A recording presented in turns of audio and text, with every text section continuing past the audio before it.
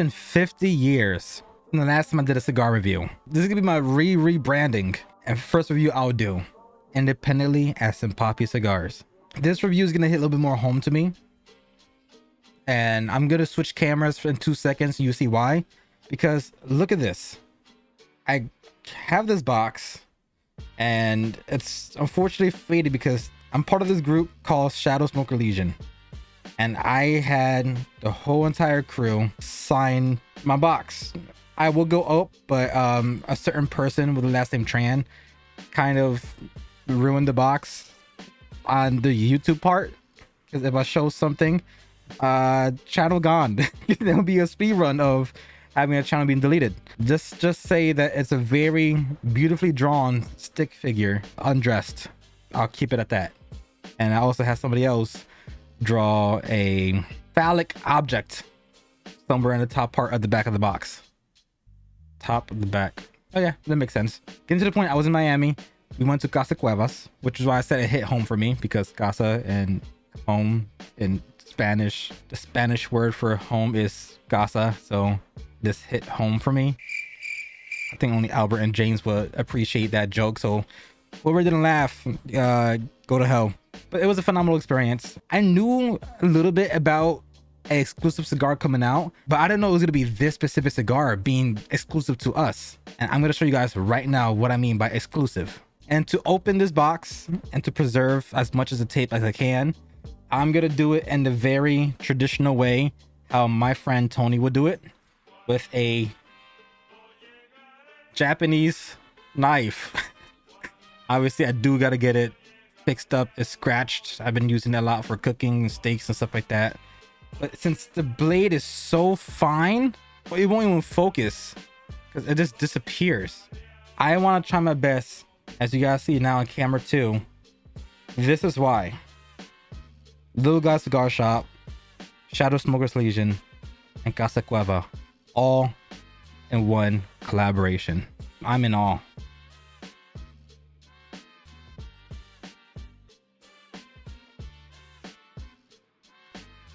That should do it. I did as best as I can to preserve the sticker. As you can see, it's barely a scratch to it. Other than that, you, you can ignore that. It's now it's time to open. Oh, look at that. You hear that box? You hear that opening? Let's see what that says. You're to hear my amazing narration. Spanning four generations of the cigar business, our family has been at every level of the cigar production process.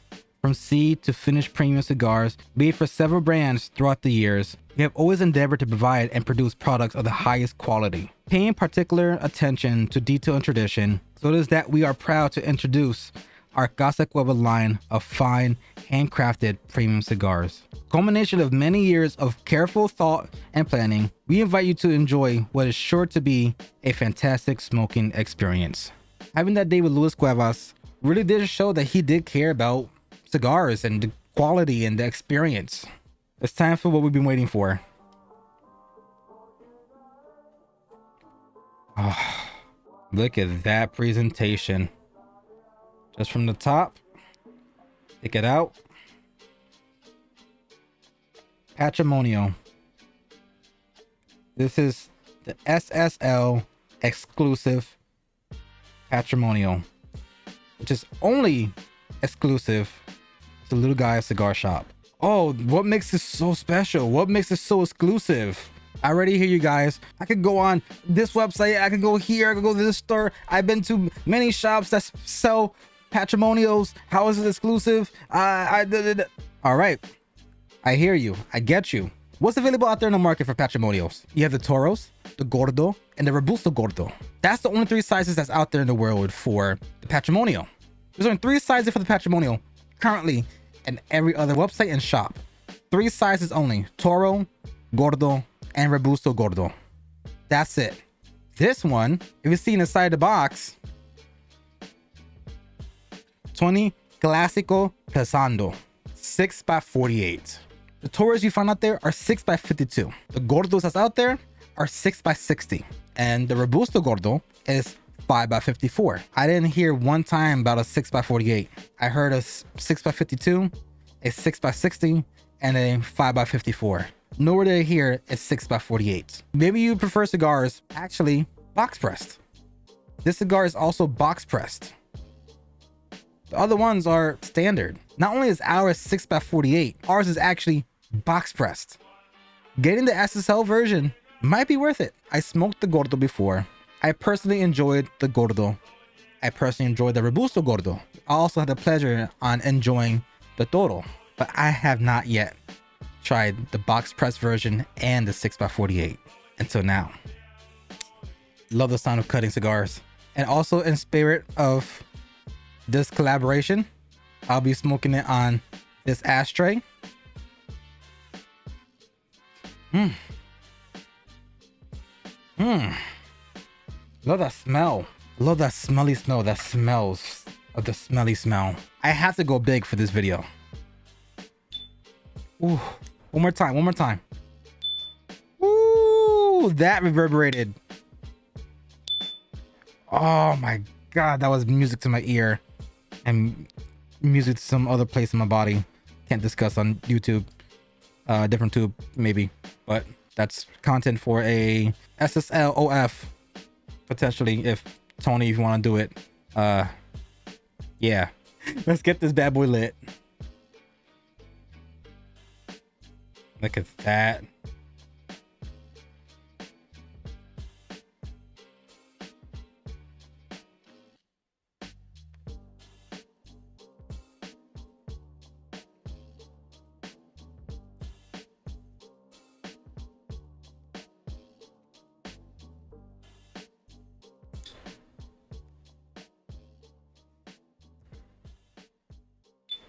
Oh, immediately I get like a woozy taste. Ooh, that's a burst of flavor. Immediately I get cedar, like extreme cedar, which is like very nice. Oh, that retro was beautiful, nice. A nice amount of spice, a little sweetness to it, and a lot of wood. So either oaky, cedar, it's just, it feels like I'm at a campfire. I'm glad I actually have this little candle next to me and it's called Crisp Fall Nights. It is October, fall's right around the corner. I feel like this cigar would be perfect for those nights where you just go to a pit, light up a real fire with wood. That's what it feels like. It feels like going to a pit and just camping. You're just outside. The smell you will get at a forest in the fall time when the leaves start falling and you start having that scent of that crisp air. That's what this is. This is the experience I'm getting with this. I know I'm talking about my experience what I feel with a cigar. And some of you guys are watching the video like, okay, Rick, you talked about the people who actually smoked a cigar and gotten the Patrimonio before, and they had it in the Gordo and the Robusto Gordo and the Toro, but I never had it before. What's the origins? What's the background on it? Well, I'll tell you guys right now. Um, I know Tony, he gave me a note earlier. Um, ah, okay. Uh, so the MSRP will be 1050. Yeah, 1050 each cigar as a uh, individual at Little Guy Cigar Shop. Uh, I think that is our Shadow Smoker Legion exclusive because of the size, the 6x48. That is exclusive to us, but you guys can get your hands on it at Little Guy Cigar Shop for 1050 each cigar, or there's actually 50 boxes available to actually purchase from, and a box comes with 20. Uh, what else did he say? Uh, um, so this cigar is also broken down into three sections. For those who are brand new cigars, cigars are typically broken down in three sections. You have the wrapper, the start of it, on the outskirts of it is called a binder, which holds the fillers together so the wrapper could go around. And as I just said, the filler. Okay, Rick, what is the wrapper? What is the filler? What is the binder? I'll tell you guys right now. The wrapper of this beautiful cigar is a Honduras Corojo. The binder of this beautiful cigar is an Ecuadorian Habano. And the filler is Dominican, Nicaraguan, and Peruvian. But where was it made? Dominican Republic as well. And the factory is Tabacalera Las Lavas. Yeah, all these different countries. Peru, Honduras, Ecuador, Dominican Republic, Nicaragua, all those regions all came together and created this phenomenal cigar. But Rick, what makes this exclusive cigar so special? I even give you a bonus fact. This is the third time Casa Cueva has ever done a Prensado size, which is a 6 by 48. The last time they did it was with their Habano and then Maduro. Other than that, there has been no other Prensado sizes until the SSL exclusive version, which is this Patrimonio of Clásico Prensado. Also, there's nothing here. For those who are actual viewers, Martin, you know, the person who was never famous, I mean, once famous, people like that might look at this channel and like, what the hell? This kid is literally reading notes live. He's looking down and reading notes. This is my third channel, guys. I've done reviews before, and I've been doing reviews for three, four years. I'm not some type of rookie. Uh, this is my shopping uh, notepad. Uh, haven't done grocery shopping in a while, and um, the missus put some stuff there that I needed to get. Get some of you guys wound up thinking that I'm a noob. No. I'm far from that. That's the best way I can explain the cigar. Just campfire. I'll say around this time to October. To me, I feel like October is like the perfect time of year. That's when all the leaves starts falling. You know, Halloween's around the corner. Free candy. I'm fat. So free candy for me. Kids don't come by my house. More candy for me. But you have 60 to 50 degree weathers, sweater weather, horror movies, Halloween, candies. Nighttime just feels way better. I don't know, something about October feels safer to be in your front lawn or your back patio or just walking to your nearest park and just sitting on the bench for a little bit. This is a cigar I a thousand and ten percent will bring on those nights where I decide to still walk to the park that's close to me. When I sit down on that bench, all I want in my hand is this cigar so I can enjoy the cederness, the oakiness, the sweetness, the hint of spice that comes with the cigar.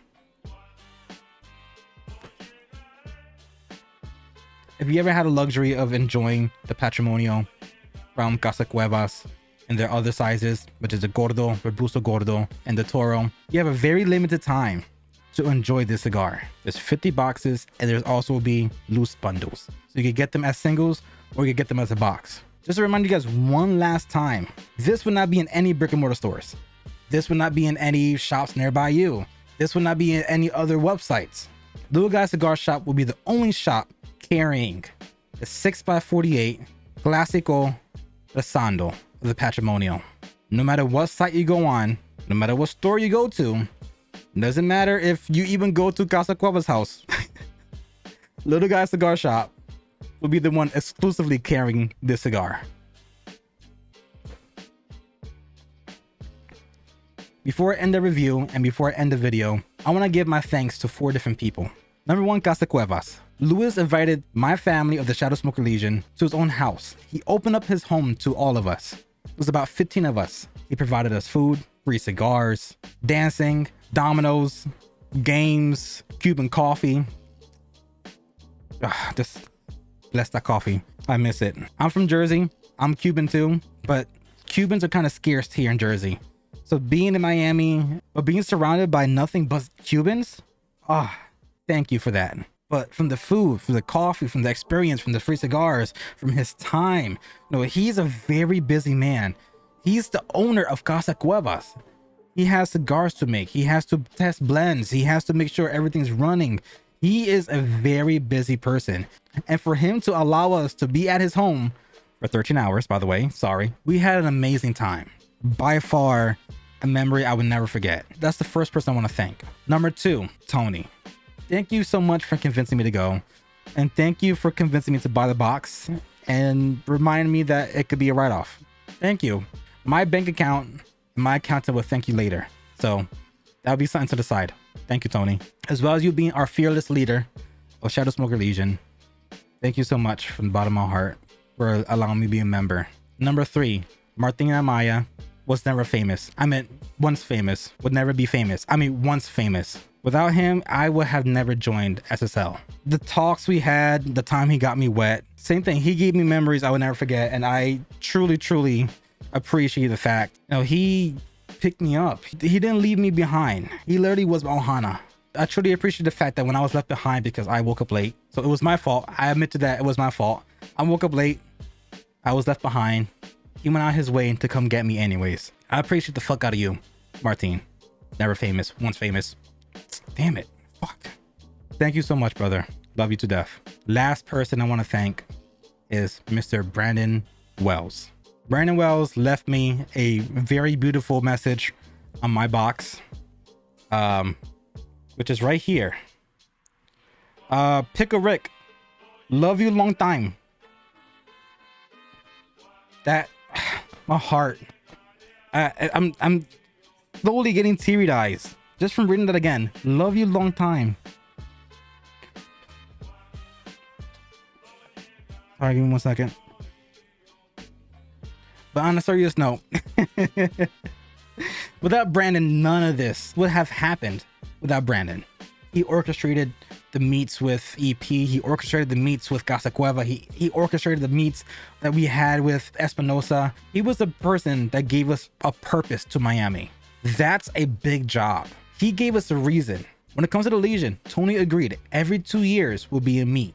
This meet, Brandon orchestrated everything and it came out flawless. I had a hell of a time. This was personally my first meet and I am geared a hundred thousand percent to go to future meets. If it's gonna be orchestrated by Brandon, 10 toes down, 10 fingers down, neck down, ass up, I will go a thousand percent.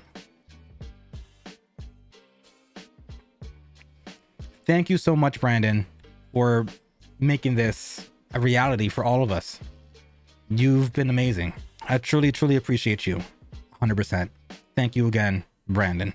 On that note, guys, I'm going to enjoy the cigar for a little bit, give you guys a little update. Once again, this is a box press Prensado. The taste of woodiness is getting more intense as it's burning. Typically, people have categories for cigars. They would categorize a cigar as a golf cigar, which is a cigar. They don't care about the taste. They just want to smoke something as if they're doing an excursion or they're doing something as a pastime, tennis, golf, hence the why it's called golf cigar. Editing, whatever your job may do that you're not really focusing on the cigar, you just want something to puff. Those are the ones that are typically on the budget side that you just don't care about. Then you have your everyday smokes. The everyday smokes are the ones that you want anytime. It could be either when you're doing something, you're at work, lunch break, at home, at night, this, that. This is a cigar that you could count on anytime, any day, or any occasion. That is an everyday cigar. And then you have the special occasion cigar. Those are typically the ones are on a higher budget range, things you only want to get once in a blue moon just to enjoy. I'm going to add a new category. Not only do I feel like this could be a good everyday cigar at 1050, that's not bad. I think this cigar deserves two categories. This could be perfect for everyday. At 1050 MSRP, come on. That's not bad. That's not gonna brick your wallet. 1050 a day. That's not bad. Think about it. MSRP, 1050 a stick. A box would be 210. That's not a bad deal to enjoy this. With a 6x48, this can last you a good 45 minutes to an hour. Having this every day is something I don't mind having. My second category, to me, this is a vacation cigar. I was in Dominican Republic before going to Miami, and I wish, wish, wish now after having this, I wish my trips were in reverse. I wish I went to Miami first, then went to DR. Because I could already see myself on the beach next to the coconut trees with this bad boy right here. Look at the design of the band. Their band is gorgeous. So imagine having this cigar by the beach next to coconut trees, relaxing. This would be my ideal cigar date. I would not mind having a little date by myself with the ocean and the air and the trees. That was an all-inclusive, whatever they want to give me for drinks. Having this by my side would have made that vacation even more perfect than it was. Very smooth, sweet, oaky, cedar, tad bit of spice. Those are the things you look for in a cigar. Little Guy Cigar Shop, SSL, exclusive, 6x48, Clásico, Prensado, Casa Cuevas, Patrimonio. This has been my review. Until next time, guys, as always, I love your face, and I'm out. Peace.